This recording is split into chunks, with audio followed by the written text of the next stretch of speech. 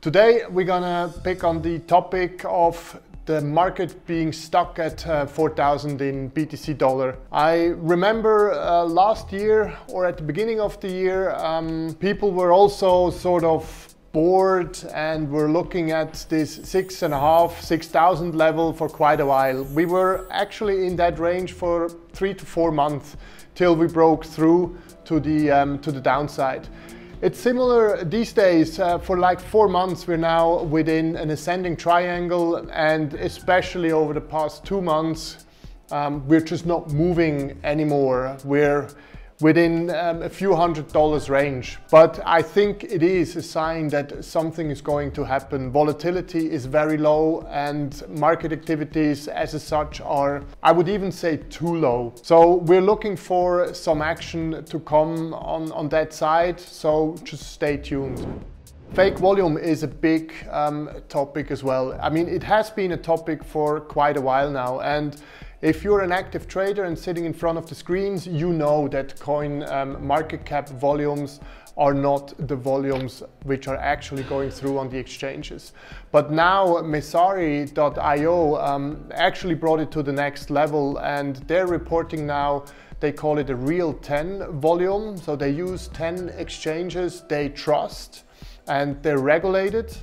And they now have a column on their um, overview, market overview, where you can actually see what they think the real traded volume is or was over the past 24 hours. I think it's a good thing.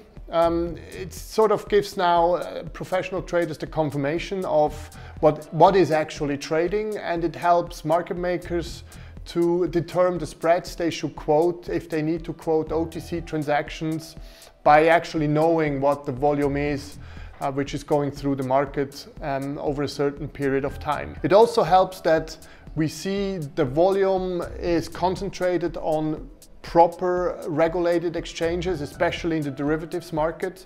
For example, on BTC, we see roughly 100 million going through um, the CME futures contracts, where the total cash market is roughly $250 million worth. So there is a lot of volume going through regulated exchanges, which is um, in fact a, a, good sign. So there is not that much of manipulation out there what, what people thought there would be. There are some reports out there. Bloomberg, for example, mentioned that um, BTC dollar looks overbought. I'm not a believer in um, looking at analysis or uh, indicators um, which are showing overbought or oversold um, signals. I look at patterns. The chart um, you see is an ascending triangle of the BTC dollar um, price action and that is a bullish pattern. If we break out to the, um, to the top side, it, it will be a confirmation then so for me, it doesn't really matter what the indications um, show on these um, overbought or oversold signs. Also, people are getting nervous or impatient about can BTC um, maintain the positive momentum. Well, at the moment, it just trades within that pattern and you need to be patient. You need to wait till a pattern resolves, either to the positive side, break up to the upside, or if the pattern gets dismissed and we see a break to the downside. But it's not, um, it's not up to me to determine if it can hold the positive momentum. Just watch the charts, watch the price action. Um, it's all there. Obviously, volume is, is a big topic. Um, that one is missing. Um, it's even less volume um, going through the market in, in March compared to February.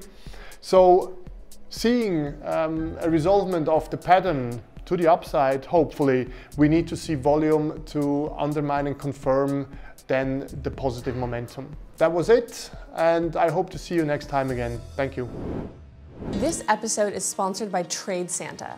Trade Santa is a cloud-based trading bot. Set it up in less than two minutes, trade multiple pairs, choose between long and short strategies, use tech analysis indicators, and see your results in real time.